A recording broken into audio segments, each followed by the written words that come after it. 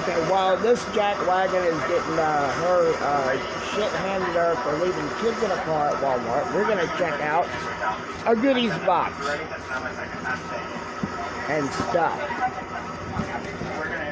We got. Oh, yep, there's the salami right there. There's the fucking salami right on the top. Whammy! Whammy! Boogeyman 2. Boogeyman 2. Yeah, we'll get into that later. I made my own sequel to Boogeyman. Boogeyman. I say that. Hang on a second.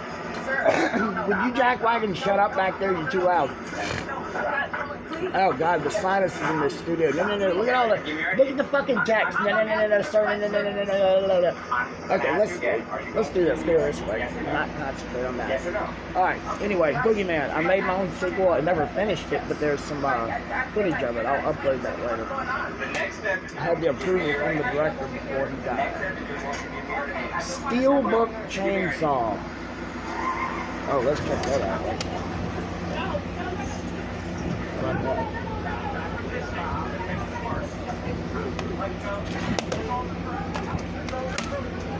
And they're both in there? But I got actually, I got the dumbwaiter actually.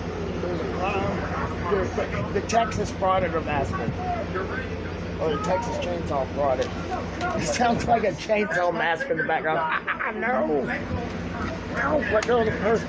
Okay, we're gonna have to I can't pause it because I don't have a remote. So we just have to try and block it out.